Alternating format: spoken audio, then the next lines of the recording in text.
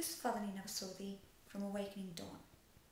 I want to talk to you about the influence the media has, be it television, internet, newspapers, or any magazines that you happen to read.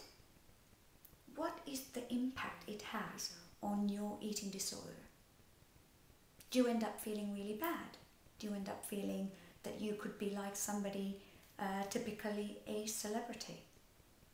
Our fascination with other people outside of ourselves is going to make us two things. One, never satisfied with what we have got and all the happy things that we have got, that we take it for granted. And secondly, and more importantly, that we wish that we could be like them, be it their body, be it their size, the glamour, the wealth. Either way, it makes us feel inadequate and insecure. That inevitably makes us feel very, very insufficient, and unhappy about what we see. The bombardment of these images of celebrities who've done various crash diets. Because what you'll notice is that media is rarely about making a headline with the good news. It's usually about somebody and their trauma or their bad news.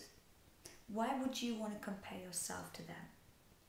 Typically, average woman in UK alone is a size 16, but what portrayed by the media is size 6, which is unrealistic. So ask yourself, is this the image and messages that you want to be surrounded by? Instead, decide to choose to look for something positive in the media.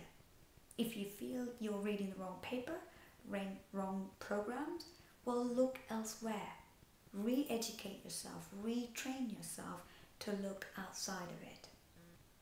Take care of yourself. Bye for now.